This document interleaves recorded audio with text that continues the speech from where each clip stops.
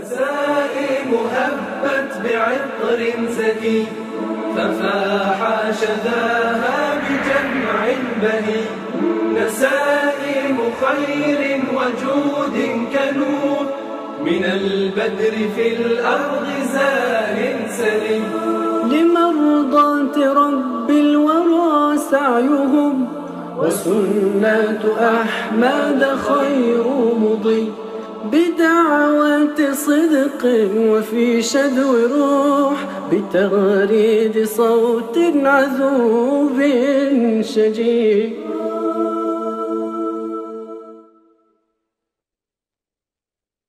بسم الله الرحمن الرحيم. حديثنا عن الرفقة الصالحة في أولادنا وأبنائنا. وفلذات أكبادنا. الله سبحانه وتعالى يقول الأخلاء يومئذ بعضهم لبعض عدو إلا المتقين. آه، لا شك أن أي ولد أو أي بنت في العلاقات العامة بين بين الأقران يتعرض للصالح وللسيء ولل يعني أشكال وأصناف وألوان في المدرسة في الجامعة في الشارع في العلاقات الاجتماعية العائلية. فهنا كيف يكون موقف الوالد والوالدة من هذا الولد أو من هذه البنت؟ أولا لابد أن تكون العلاقة من الأصل بين الولد والبنت والأب والأم علاقة محبة وعلاقة احتواء وعلاقة حوار وإلا كل المتابعات والمراقبات ستمضي هدرا وعلى غير على غير هدى. لكن عندما يكون هناك قبول من جميع الأطراف يعني الآن الأبناء الآن بنتك لابد أن تعرف من من تصادق. حتى بالأسماء فلانة وفلانة وفلانة وتأخذ فكرة عن كل رفيقة من رفيقاتها يعني آه، حتى تستطيع أن تقيم هذا النوع من العلاقة لأن الصاحب كما يقولون ساحب. وإذا أردت أن تعرف من أنا فانظر من أخالل. فهذه المسائل نحتاج فيها دائما إلى أن نكون قريبين من أبنائنا. يعني حتى تكون هناك جانب من الصراحة ومن العفوية إن الابن يعني أو البنت تتكلم مع أبيها وتقول له مثلا أنا حصل معي على وسيلة التواصل الاجتماعي شخص بعث لي رسالة مثلا وتكلم قال كذا وكذا وكذا. هل في هذه اللحظة الوالد يقول له عيب وكيف وهذا كلام ممنوع ومعقول؟ لا يا أخي تريث. عليك إنك أنت تنظر إلى هذا الأمر كيف جاء وأين وصل وأن تنصح وأن تبين بالتي هي أحسن. يعني حتى الله سبحانه وتعالى في مجال الدعوة ادعو إلى سبيل ربك بالحكمة والموعظة الحسنة وجادلهم بالتي هي أحسن. فبما رحمة من الله لنت لهم ولو كنت فظا غليظ القلب لانفضوا من حولك. اذا نحن نحتاج إلى لأن كل ولد كل بنت معرض للخطأ معرض للزلل معرض أن يكون يوم من الأيام ممكن ينحرف عن الطريق الصحيح. ولكن إذا أردت أن تبني هذا الطفل من جديد أو هذا الشاب أو تجعل هذه العلاقة دائما وابدا في تواصل بينك وبينه لابد أن تكون رفيقا له وتكون رفيقا به في آن واحد. لأن نحن كما قلنا المثل الشعبي اللي يقول ولدك إذا كبر خاويه. طبعا هذا لا ينافي أن يكون هناك مسافة بين الأب والابن ولكن يعني ذلك خويه أنك تكون قريب من نفسه أن يكون صريحا معك في كل شيء أن يبادلك الرأي أن يتكلم معك في القضايا الحساسة. تو كثير من الناس أحيانا عشان يحكي مع ولده في مسائل الغسل أو مسائل مثلا ال ال الأشياء التي تحصل للشاب عندما يصل مرحلة المراهقة يستحي أن يتكلم معه في هذه المسائل. لا بالعكس لابد أن تتكلم ولابد أن تبين له. إذا كان أنت الأب أقرب الناس إليه لم يتكلم معه في هذه المسائل فمن يتكلم معه؟ يعني وتتكلم بأسلوب علمي بأسلوب يعني راقي وبأسلوب طيب حتى الولد يسمع ويستفيد ويفهم. وإلا هو معرض للقنوات المفتوحة والإنترنت وتعطى له معلومات مغلوطة وكثير من المسائل التي تفسد العقيدة وتفسد العبادة وتفسد الأخلاق وتفسد العلاقة الاجتماعية. إذا نحن علينا دور كبير أن نكون قريبين من أبنائنا في كل أوقاتنا. وبارك الله فيكم وجزاكم الله خيرا. الحمد لله والصلاة والسلام على سيد المرسلين وخاتم النبيين وعلى آله وصحبه أجمعين. إخوتي أخواتي المشاهدين السلام عليكم ورحمة الله وبركاته. يومكم طيب إن شاء الله في هذا الجو الجميل. نحن عندما ال- ال- الأب والأم يبدو في تربية أبنائهم في شرط أساسي الحقيقة حبيت إني نأكد عليه هو ان يجب أن يكون في آه، ود ومحبة يعني وهذا يتاسس عليها تربية الأولاد. الود والمحبة اولا ما بين الزوج والزوجة فيه مشاعر ود ومشاعر حب ويعني توافق جميل وابتسامات ما بين بعضهم وتقدير جهود بعضهم ويعني في حنية وفي مجالس طيبة ما بينهم ثم يفضوا هذه المحبة وهذا الود الذي بينهم إلى أبنائهم وبناتهم فيعيش البيت في ود ومحبة وتشبع العاطفة لأن إذا لم تشبع العاطفة ويحدث عاطفة جفاف العاطفة تحدث إشكال كبير هنا؟ ولا يحدث أي تربية لأن هذه أساس. إن تكون في إشباع العاطفة ما بين الزوج والزوجة ثم تفضي هذا الحب وهذا العاطفة والود والمحبة والحنان إلى الأبناء ثم من بين يحدث بين الأبناء والبنات هذا الود وهذه المحبة فيغمر البيت هذه الجماليات مثل حديقة من الزهور المتنوعة الألوان ومتنوعه الروائح والعطر اللي يخرج من هذا البيت يصبح بيت مبارك. ما هي عناصر التربية بعد ما نأسس على العاطفة والحب؟ الأولى هو واحدة منها القدوة يجب أن يكونوا الأب والأم قدوات لأبنائهم وبناتهم ولهذا يجب أن يتحسن شخصياتهم وتطور شخصياتهم حتى تصبح في مستوى أن يكونوا أب وأم مربيين لأبنائهم. هذه النقطة الأولى. النقطة الثانية أن الأسلوب الثاني هو أسلوب الحوار والهدرزة وحكايات القصص خاصة أبنائكم وبناتكم ما دون سادسة ابتدائي يحبون أن تتلى عليهم وتحكى لهم القصص المتنوعة وإن كانوا ما بعد الإعدادي والثانوي يحتاج منهم إلى حوارات ونقاشات على مواضيع متعددة مواضيع تخص البلد تخص الأمة الإسلامية تخص كذا. فالنقاشات هذه النقاشات تعطي أسلوب في الحوار من قبل الأولاد. يجدون الحديث والكلام ونعرف من خلال هذه النقاشات آراءهم ونصحح إذا كان فيه أي أخطاء وحسوا بأن الأب والأم أصبحوا مثل في صداقة ما بينهم وتقربوا كثير جدا. الثالثة وهي مهمة جدا أن يكون هم آه يعني يربوا بمواقف مواقف داخلية.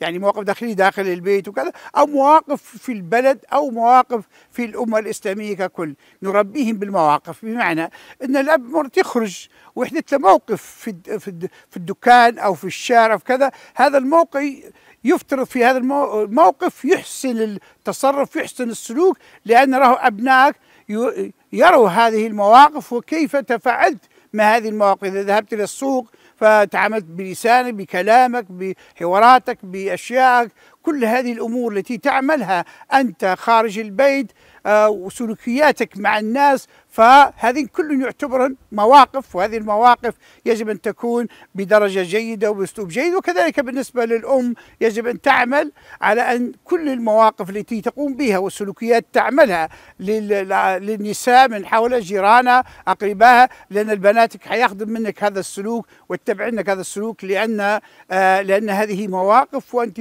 سلكت سلوك معين في هذه المواقف.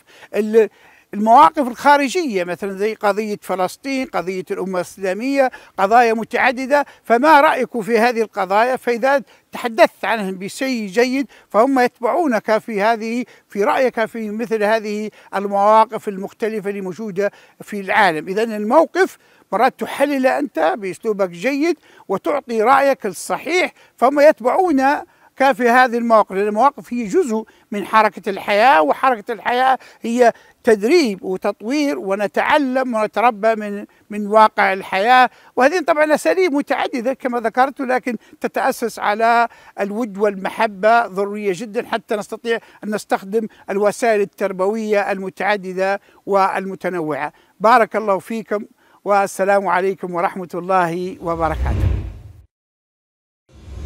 شيخ وليد بن عفان. نعم شيخ ياسر. صبحك الله بالخير حبيبي. يصبحك بالخير. والله إحنا سمعنا قالوا صارت معك قصة وانت جاي قزاز ما قزاز. عنده جاي ألف قصة ضربة ما ضربة طيحة ما طيحة. لا خليه خليه خليه يبدأ خليه يبدأ. توا نحن نبغى آخر update تو بعدين نردوا على القديم يا شيخ. باه. الحمد لله على سلامتك يا الحمد شيخ لله وليد. سلامتك يا شيخ. وليد. الله يسلمك ويبارك فيك. معلش يا سيدي انت ابن عفان وهذا مبتلى يا سيدي الله غالب أي والله. لا والله إنك كنت ابحث عنكم. قال بشره بالجنة على بلوى تصيبه يا شيخ وليد. آه. القصة الله. الجميلة هذه بالتفصيل عشان لا مش جميلة بنت لا لا ما- هي فيها طيحه وفيها جو آه، يعني- لك. حتى أنا ما طايح حرام. لا مش طايحة ما ضحتش يعني. يعني المهم احكي لنا أنت تو. هو لما جيت المكان ما ما كنتوش قاعدين وما فيش حد يعني. سبقناك يعني. آه فشافني واحد من أخوتنا الأتراك لما جاني هو يتكلم تركي ما فهمنا شيء والله. آه. آه يعني حتى قلت له وشوي حتى قلت حتى باش تقول له من قلت له آه قلت له دو يسبيك انجلش ما الرجل قال لي no no ما قال حتى no والله ما قال ما, ما عنده شيء من الإنجليزية. يوك يوك يقول آه. لك يوك. شوي واحد عنده شوي إنجليزية حكيت له قلت له نبي الجماعة يعني. مش اخذني شال لي المكان بعيد بعيد. نرقى في الدروج وننزل مع. دروج ونشوف مع السيور السيور المدادة اللي هذا المكان اللي صورنا فيه ال- يا ظننت. ان المكان في فلسطين وطلعني وطلعني برا اخر مشان أي. المكان بعيد. باهي. وقال لي هذه هي وصف لي على الغرفة بدك خشيت قلت مظلمة. قل كيف نروح وكيف نرجع من المكان الطويل هذا؟ والله. يا شيخ وليد. شوية غير ما قلتش عليك دانو. باهي. فالوقت مشى فتبت نسرع يعني يمكن حتى جرت شوية خلاص الفندق ال- القزازه دي لقينا مشكلة. بلور بلور. ما ما تحسبت قدامك قزاز والله. من السرعة كنت أسرع منه وبيفتح لك لكنه نجري والله. فحسبته آه، لجه وارتطمت بالقزاز والله إني اندخت يعني. جاء مسكني سندني واخذ هو. قزاز مغبش يا شيخ وليد؟ كان جاء من آه، ورائي هو. زال نظيف آه، وبكى عرفت. لا لا نظيف. خلوه مغبش خير والله. دعيت عليه يا شيخ اللي لا لا أبد كان وراي هو جاء مسكني سندني والله. يعني أنت ضبطت القزاز هو يعني. القزاز ما صار له شيء يا شيخ وليد. لا قبل صار شيء متيني قزاز نالي شو صار لك؟ بار أنا قال والله الحمد لله على والله السلامة سيرت لي يا شيخ يسري من قبل حتى أنا الحمد لله على آه. سلامتك ان شاء الله. كفاره السلامة. أقسم بالله جاي نجري ونصر. وما ندري عليك بصير تقول در طف في جبهتي وين يا ابن عم؟ على القصة اللي تفضل يكمل الشيخ يكمل الشيخ الش- وليد مازال يكمل ها ما كملتش لا خلاص هذا استطعت ان بفضل الله نصل لل- للريسبشن الحمد لله على سلامتك الحمد لله على سلامتك الحمد لله القزاز الله يسلمك ويبارك فيك والله. تفضل يا دكتور على قصة الكتب اللي آه، ذكرنا بهن الأخ آه، الدكتور آه، عصام. ال- كان آه، عندي صديق من بنغازي رحمة الله يتوفي هو آه، كان ه- هذيك السنة ماشي للحج. آه، وطبعا إحنا في ليبيا في ذلك العصر البغيض يعني ما تكادش تجد في المكاتب شيء مما تطلب أنت عشان آه، كتاب تقراه و- كتاب الخضر عادي حالك. فهو جاب طبعا مجموعة هو كان يعشق الشيخ كشك. وكتب أشرطة غيرها. فجاب مجموعة للشيخ كشك وحط معاهن آه، يعني بعض حاجات أخرى للتغطية عليهن. وبعدين آه، أروح وش- وشايل آه، الساكو هذا ولا الشنطة اللي فيها الأشرطة متاع الشيخ كشك حاطها معاه في في يده. ما باتش يمشيني في في يعني مع الشناطي. والحقائب وال- هو ظن من إن أنا مش حيفتشوا وحيقولوا لي وعدي فلما جاء في مطار بنينا مسكها واحد آه، ضابط من آه، جماعة الجمرك بس ما زي ما نقولوا ولا مؤاخذه مش آه، ما- أمي لا، ما تف... أقرأ. ما تفهمش يعني إنها طعنا فيه. لكن من البدو يعني ما يفهمش ما يقراش ربما حتى أمي. فلما جاء بي... بيجتاز طابور وقف قال له تعال قال له شنو؟ قال له تعال نفتشك فتش لقى الساكو قال له شنو هذا؟ قال له هذا ساكو قال له شنو فيه؟ قال له شوف حل كي لقى اشرطه قال له هذه الاشرطه شنو؟ قال شيء آه، كان صادق الرجل قال له اشرطه كشك كسر كشك. ظن هو طبعا كشك آه، كسر عندنا للستاوي يعني. قال له كشك هذا؟ قال له قال له عندي كشك يا باتي هيا. حلوة. عن عثمان رضي الله عنه عن رسول الله صلى الله عليه وسلم أنه قال: من صلى العشاء في جماعة فكأنما قام نصف الليل ومن صلى الصبح في جماعة فكأنما صلى الليل كله رواه مسلم. قال شراح الحديث: المعنى أنه جمع صلاة العشاء إلى صلاة الصبح فهذا هو الذي قام الليل كله. أما من صلى فرضا واحدا في جماعة دون الفرض الآخر فكأنما قام نصف الليل. آه، شيخ يسري نتفهم أنك أنت تقرأ بطريقة برايل. وهذه كل حد يعرفها. لكن مدوخني إني لما أبعث لك رسالة في الماسنجر ترد علي برسالة وتبعث لي أيقونة واحد يضحك وتدير لي في يعني مش حتى رسالة صوتية ولا نعم. وفي المقالات تعلق بشكل ما فيش أي أخطاء. فهذه كيف يعني؟ هو طبعا الحمد لله نحن يا شيخ علم الإنسان ما لم يعلم يعني. التقنية طبعا الآن غزت العالم وما كانش الأعمى بمعزل عن التقنيه فأنا عندي يعني من الأجهزة التقنية ما يمكنني من أن أدخل على أي تطبيق وأي برنامج وأستقبل منك رسالة مثلا على الواتساب ولا على الفيسبوك ولا على أي حاجة نستقبل ونبعث ونوافق على على. فهذه طبعا آه، شنو عبارة عن إن فيه سطر إلكتروني يسمى قارئ شاشة screen readers يعني. هذا في في جهاز هذا في التليفون. كل أجهزة العميان. أجهز أي- في, في التليفون في الهاتف لا. ولا ولا لا، هذا جهاز خارجي لا تو أنا نستعمل في الآيفون العادي لكن عندي جهاز صغير يربط مع مع الموبايل مباشرة يتحكم في كل شيء آه. تمام فنقدر نخش على جوجل نخش على اليوتيوب نخش على تويتر نخش على الفيسبوك نخش على الماسنجر. على الواتساب على ال سمي ما شئت التيك توك الحاجة الوحيدة ما زلت ما خشيتش عليه يعني وسائل التواصل الاجتماعي أعتقد درت لكم عالم آخر فتح بالنسبة لكم والله أذكر أنا زمان كنت لما نصبي نلمس كمبيوتر مثلا نحس نفسي قدام عالم غير طبيعي وما نستطيعش اننا نفكر حتى مجرد التفكير إني ندخل عليه. الآن الحمد لله لا الآن حتى الكتب مثلا على سبيل المثال في دراستي الماجستير والدكتوراه كله ننزل فيه من الإنترنت من المكتبة الشاملة ونحول فيه من لا PDF وصنع عندكم عالم آخر أعتقد طبعاً، طبعاً. في آه، نقله في. أنس جديد. طبعا أكيد. أنت بتتعامل مع العالم الافتراضي تتعامل مع العلاقات الاجتماعية تتعامل مع الناس. بشكل سلس. بشكل أسلس من السلس حتى. أنت ما زال لك قيادة السيارة بس يعني. والله بالتجربة قدتها لكن مش عاد قيادة احترافي. لا لا. رد بالك الله يرحم والديك. لا والله درناها من قبل يا أستاذ فرج مرة أنا أتذكر واحد صديقي قلت له الله يبارك فيك أعطيني سيارتك. خليني نسوق ناخذ بها جير قال لي يا رجل درنا شي كارثة. وكان ليل وكان رمضان اتذكرها قلت له والله ما في حد الدنيا سفرتح. خلينا بالله. أنت غير قاعد من جنبي يقول لي شوية يمين شوية يسار تمشي الأمور. طبعا أنا في منطقتي في أرض زواوه اللي كنت ساكن فيها في بنغازي يعني. الناس يعرفوني كلهم اللي غادي فركبت السيارة وجيت ماشي. فدرت لقطة جميلة جدا. خشيت قلت له بين بخش شارعنا. قال لي خلاص هيكسر شوية على اليمين طق. وقعد ماشي ماشي. طبعا مش سريع لكن آه، ماسك. معاك هو آه، أكيد لا هو مش ماسك الدماغ. هو يقول لي شوية يمين شوية يسار بس يحرك فيا بصوته. تمام؟ فالمهم خشيت لقيت جماعة كباني قاعد في أول الشارع. جماعة الكسيدية اعرفها والله بتاع ال- أحسن. بعد التراويح الطياح عند. عند الفجر. أيوه. تكيت عليهم قلت لهم طلع طاط يدي طبعا مع القزاز قلت لهم. عندكم ولا يا شباب؟ ويصبوا كلهم يا شيخ استعداد صدموا بهتوا اسقط في أيديهم. ف...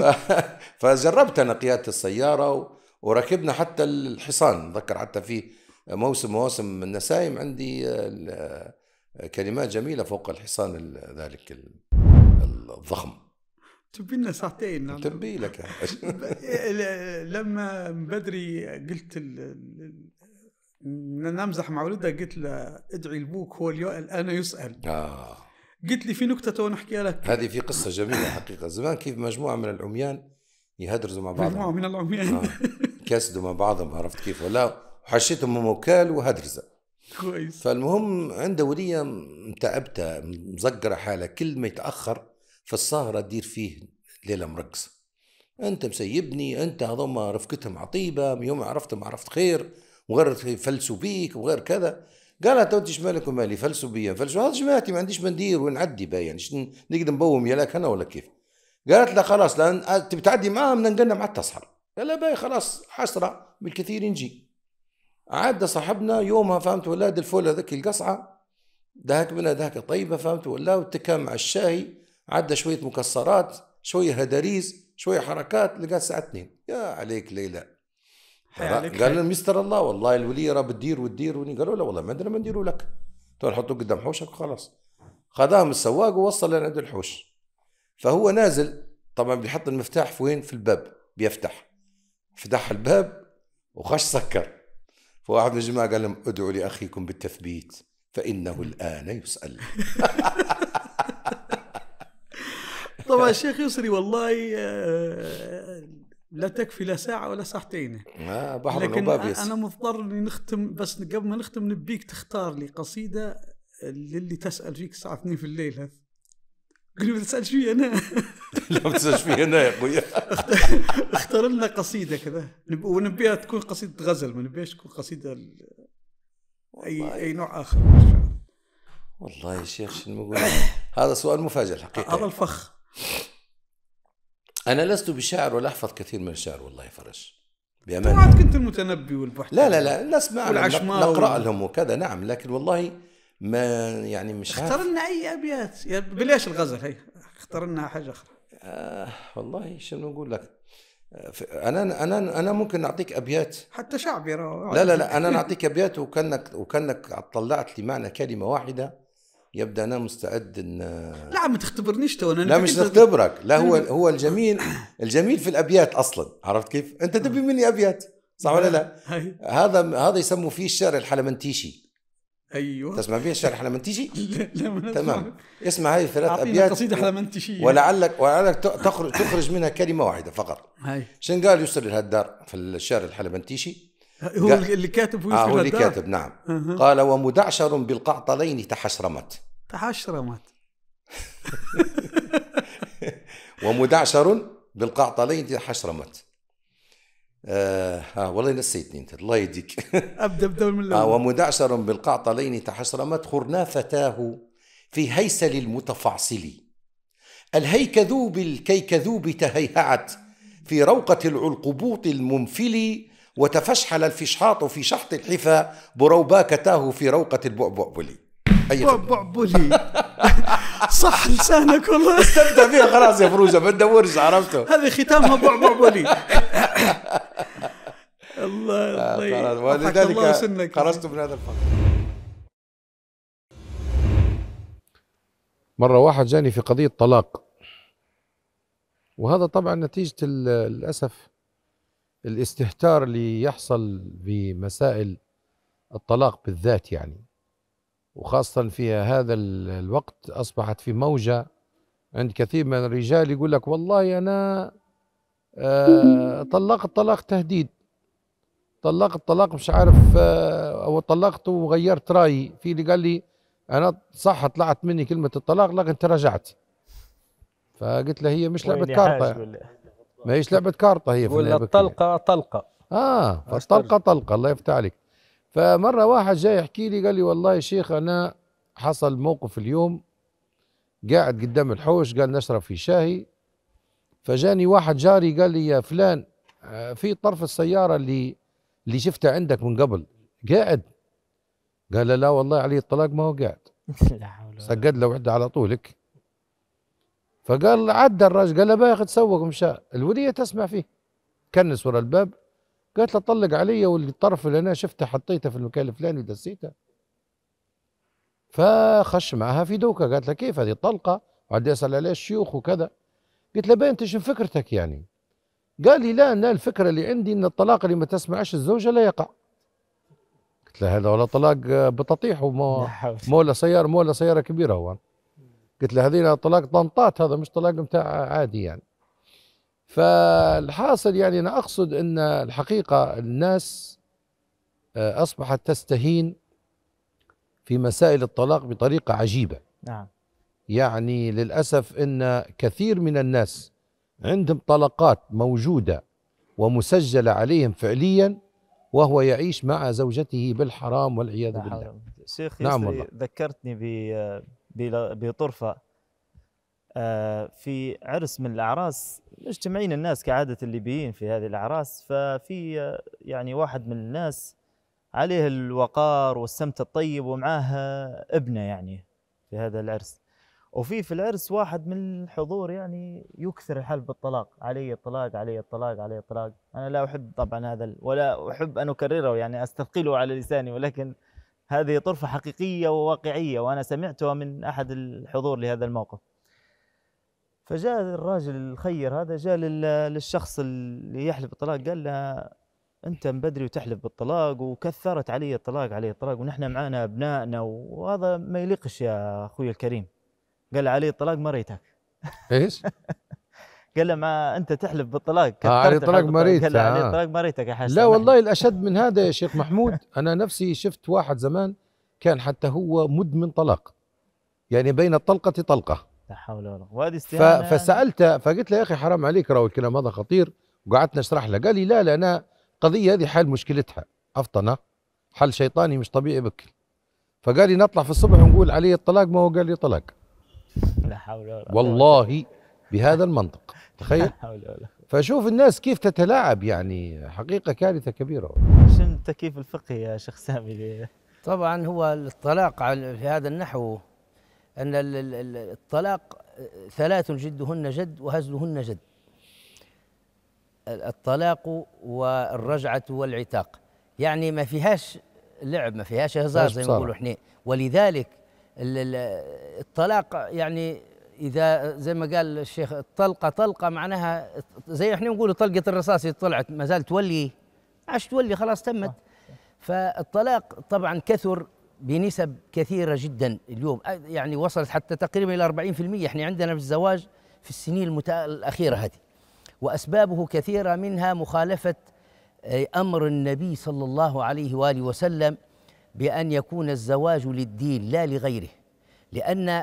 آه، حديث النبي صلى الله عليه وسلم المرأة تنكح لأربع هذا النبي صلى الله عليه وسلم لا يأمر لا يأمرنا بأن نتزوج لهذه الأربع وإنما يحكي لنا واقعا. موجود. يقول أراه تنكح المرأة لأربع. الناس ينك- ينكحون لجمال ولمال ولحسب ولدين. طيب ما موقفك أنت أيها المسلم من ذلك؟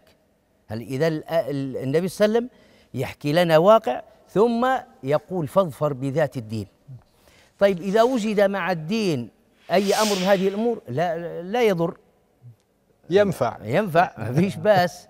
لكن الأساس هو الدين. قد نتغاضى على الجمال إذا وجد الدين. قد نتغاضى على المال إذا وجد الدين. قد ن... هذا معنى آه، فاظفر بذات الدين. فمن تعلق بغير الدين راه افتقر. هو هذا افتقر أنه تضيع منا الزوجة هذه. لأن لم يمتثل أمر النبي صلى الله عليه وسلم في ذلك. ولذلك هذا أحد الأسباب. ومن الأسباب الأخرى الزواج الصغيرات. وهذا نعاينه كل يوم. تجد ولذلك فتاوى الطلاق في اليوم أقل شيء يعني تأتي ثلاث فتاوى في الطلاق كل يوم عدد غير كبير جدا كيف الحل مشكل في مشكل يعني أسباب عديدة في من يفهم لا لا يفهم معنى الطلاق ولكن لا يعذره الفقه ولا الإسلام في هذا ولا؟ أنه هو يقول كل طلاق يقع مني راه غير واقع ما ينفعش